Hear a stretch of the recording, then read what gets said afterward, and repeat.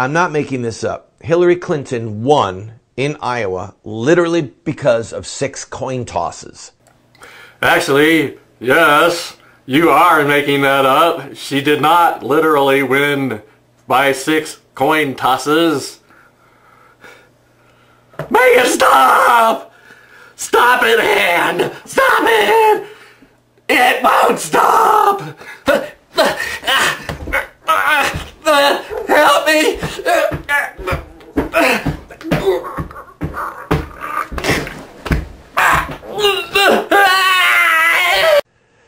There was, let's say there's 100 people caucusing for Bernie Sanders, 100 caucusing for Hillary Clinton. That's a dead heat.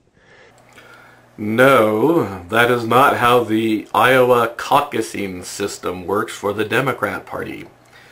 It would be more correct to say there are 200 people caucusing for the Democrat Party. You wouldn't say there's 100 caucusing for Ms. Clinton, you wouldn't say there's hundred caucusing for Bernie Sanders.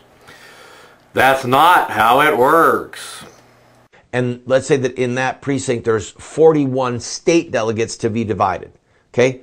20 for you, 20 for me. Who gets that that that that 41st delegate? No, you would not have 41 delegates. You would have 40.0015 delegates. Let us talk about the Iowa caucus system for the Democrats. You have a precinct. They are going to have a caucus.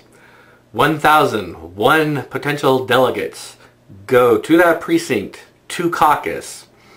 At a specific time, the door is closed and the uh, sentinel armorer, uh, the master at arms, blocks the door so that nobody can come in and hopefully nobody leaves.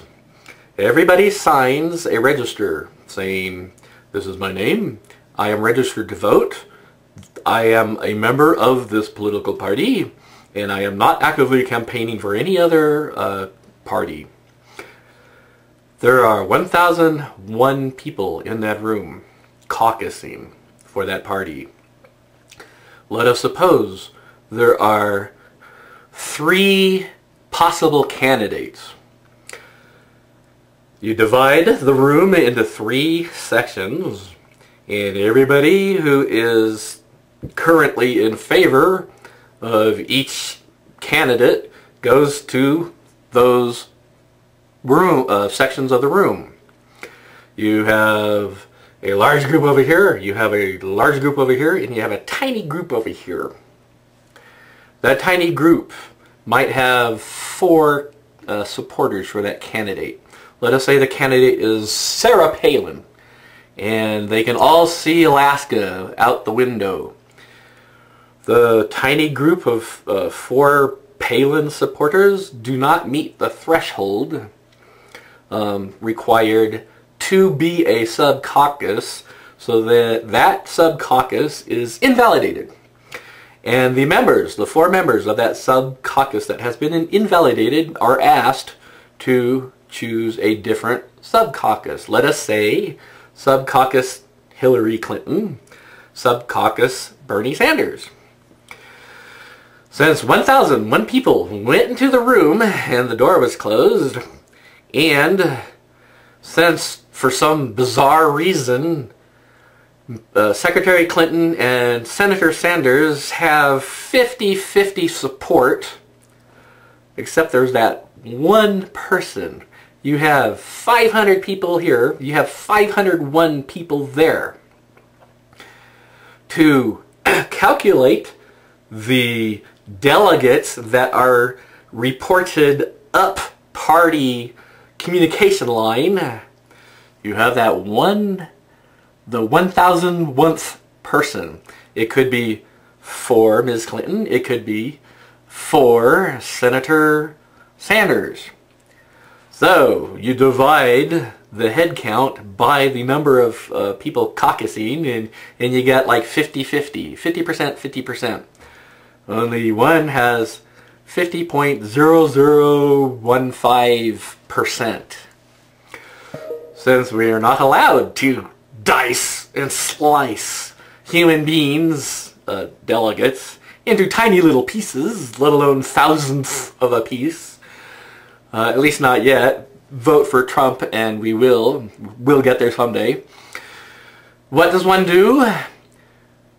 You have, let's say, 40 delegates for Hillary. You have 40.001 delegate for Sanders.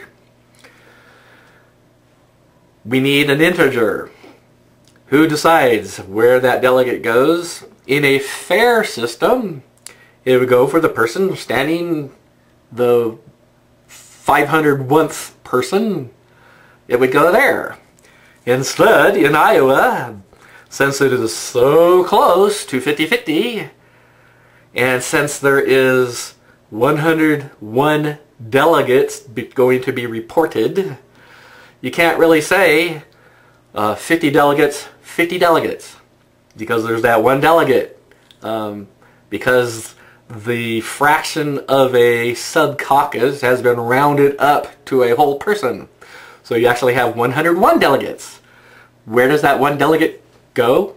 To be fair, it would go to the 1000th onth person, or more specifically, the 501th person, wherever that sub-caucus was. It does not. A coin is tossed. You have 101 delegates. The coin is tossed to see which uh, sub-caucus, and therefore which candidate, that one delegate goes to. That one delegate is not actually a one delegate. It is a tiny fraction of a delegate. But like I said, we're not allowed to chop up delegates. Yet. This means Ms. Secretary Clinton did not win by six coin, coin tosses. She won by having more delegates in all of the other precincts than Senator Sanders did.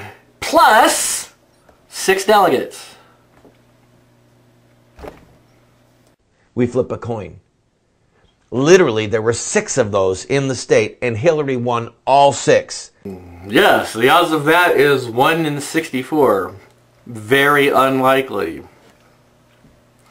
That is worse odds than putting, uh, going to a roulette table and putting $100 on number 9 and having the ball land in number 9. Which means it is very likely that the gods wanted Hillary Clinton to win the Iowa caucus for the Democrats. So she beat out Bernie Sanders by a, by a margin of those of those coin flips. She ended up getting 22 delegates total. He got 21 to go on to the national convention. Yes and no. Secretary Clinton got a tiny fraction of a delegate more than Senator Sanders. but like I said, vote for Trump and she would have got that tiny fraction. She might have got maybe four fingers. She might have got an ear. I don't know. But since we're not allowed to do that yet, we'll get there. She got a very tiny fraction of a delegate, but we had to give her an entire whole delegate. Um, so what? If you can think of a better, fair method than tossing a coin, please step forward and let everybody know, because I'm sure everybody would like to know. Everyone in this room is now dumber for having listened to it.